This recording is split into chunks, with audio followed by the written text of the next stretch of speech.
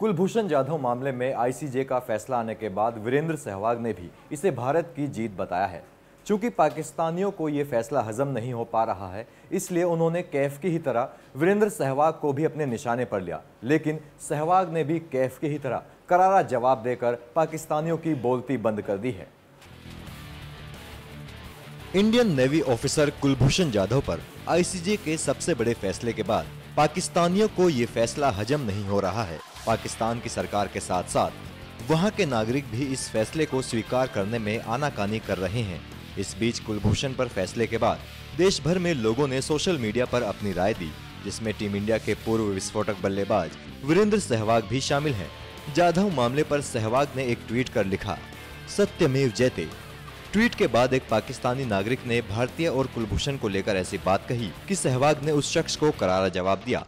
दरअसल, यूएई में रहने वाले पाकिस्तानी नागरिक फरहान जहूर ने लिखा, तुम लोग कम अक्ल हो, कुलभूषण पर अभी आखिरी फैसला आना बाकी है, और तुम कहीं भी जाओ, हम उसे फांसी पर लटका देंगे। इस पाकिस्तानी के ट्वीट के बाद सहवाग ने इसे करारा जवाब देते हुए कहा, भारत को वर्ल्ड कप में हराने की तरह, ये सिर्फ़ तुम्हारे सपनों में हो सकता है। कुत्ता पालो, बिल्ली पालो गलत फहमी मत पालो। सहवाग के इस जवाब की ट्विटर पर जमकर तारीफ़ हुई है। आपको बता दें, इससे पहले पूर्व भारतीय क्रिकेटर मोहम्मद कैफ ने भी कुलभूषण मामले पर भारत को बधाई दी थी, जिसके बाद वो पाकिस्तानियों के निशाने पर आ गए थे। न्यूज़ एक्सप्रेस की रिपोर्ट।